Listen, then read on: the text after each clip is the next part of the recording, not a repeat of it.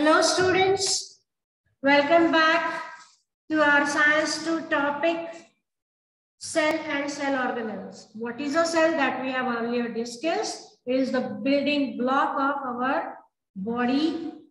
All the living uh, plants and animals, they are made up of cells only.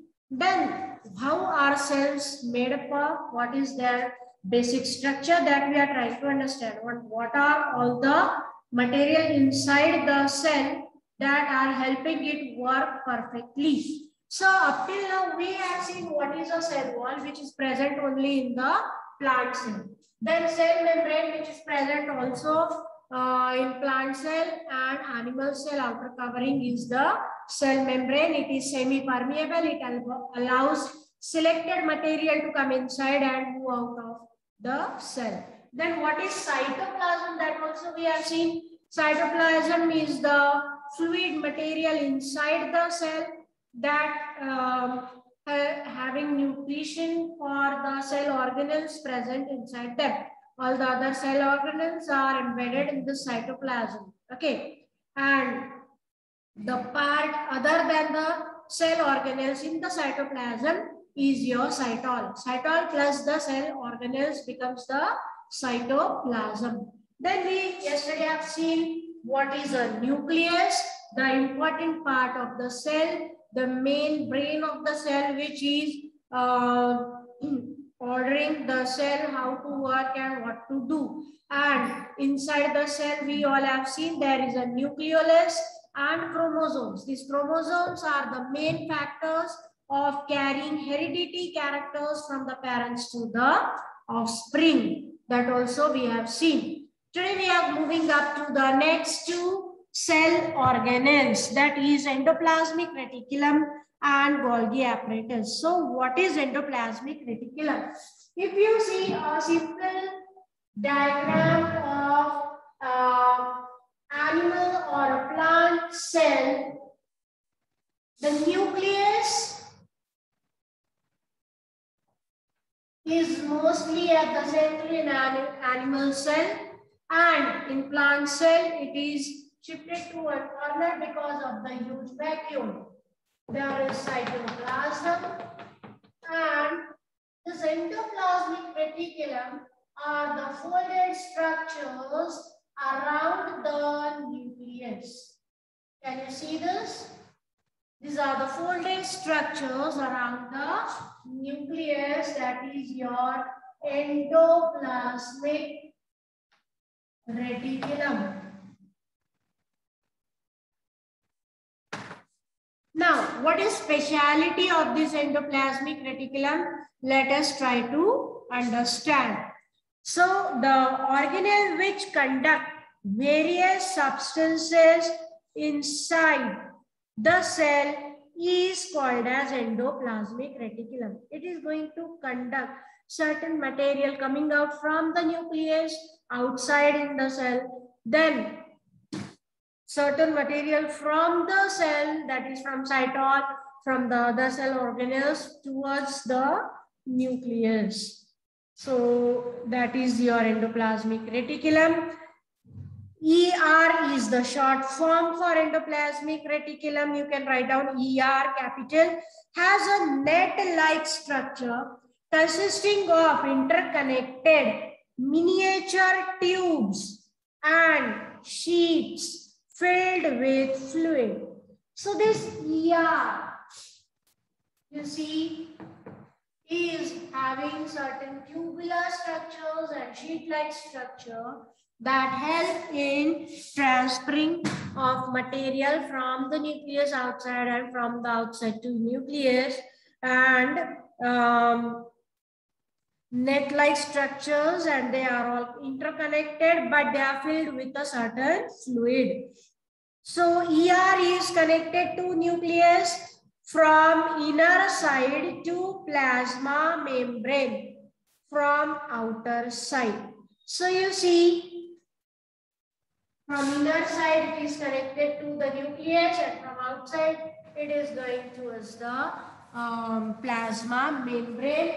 As you all know, in a animal cell, plasma membrane or cell membrane. And the third name to this membrane selectively permeable membrane that we have studied earlier. Okay, so ER is connected to the nucleus from the inner side and towards outside it is connected to the plasma membrane. So rough endoplasmic reticulum has ribosomal nuclear granules on its outer surface. So endoplasmic reticulum are classified into two types. Okay, the rough ER endoplasmic reticulum and smooth endoplasmic reticulum. Why this is rough endoplasmic reticulum? and why the remaining ones are smooth. Some endoplasmic reticulum you see have small granular structure over them. These are actually the ribosomes. These granular structure over the endoplasmic reticulum is the ribosomes and ribosomes are specially designed cell organelle in protein synthesis they are helping. Their job is to synthesize proteins.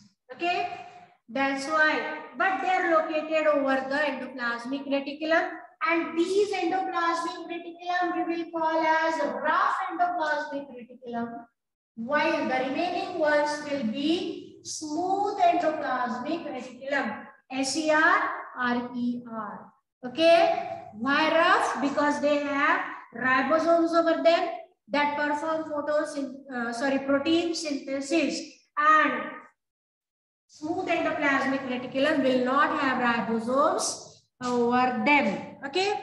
Now, what are all the functions of this endoplasmic reticulum? It is the framework that supports the cell. Then it conducts protein. Proteins which are produced by these ribosomes are conducted towards the nucleus, outside the nucleus, everywhere. Okay, because protein is very important component of cell construction. Then toxins have entered the body through food, air and water are made water soluble by this endoplasmic reticulum only and then flushed out of the body. Toxin get mixed with the fluid structure and it's going to be washed out of the body through urination. Okay. So endoplasmic reticulum is a really very important cell organelle all are important and endoplasmic uh, reticulum is one of them we should say okay the next um, cell organelle that today we are going to cover is golgi apparatus or the golgi complex after endoplasmic reticulum we are going to cover golgi complex. Now what is it? Why the name is golgi complex? Actually it was invented by a scientist named camillo golgi. He described this structure for the first time and uh, the name of this scientist was given to this cell organelle.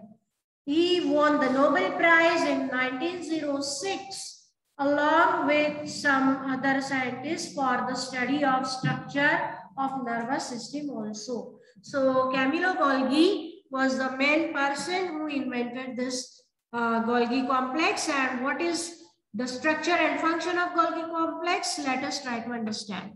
It is made up of 5 to 8 hollow and flat sacs placed parallel to each other.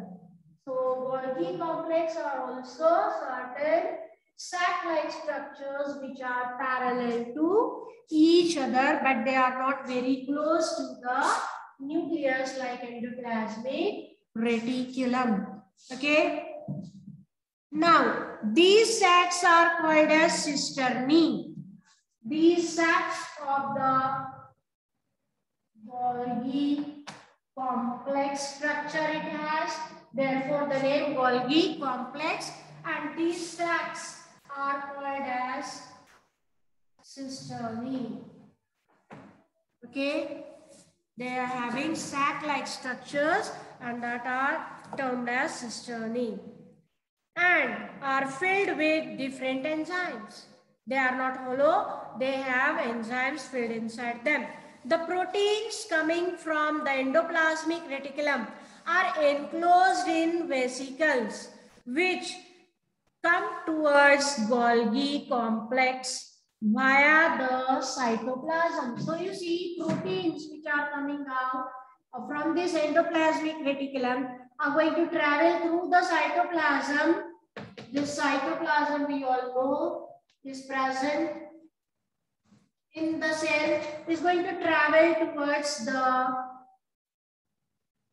Golgi complex and in those sacs they will be entering. They fuse with the formation phase of the Golgi membrane and empty their content in the cisternae. So this protein content is going to come to the Golgi complex and empty their content inside those sac-like structures called as cisternae or Golgi complex.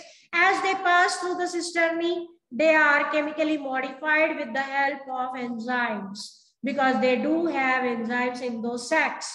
They are again packed in the vesicle. These vesicle exit from the matura, uh, maturation phase and the cisternae work like uh, packaging department, packing department that packs and distributes the substance, mostly proteins. So what is the function of cisternae? They are working as a packing department of the cell.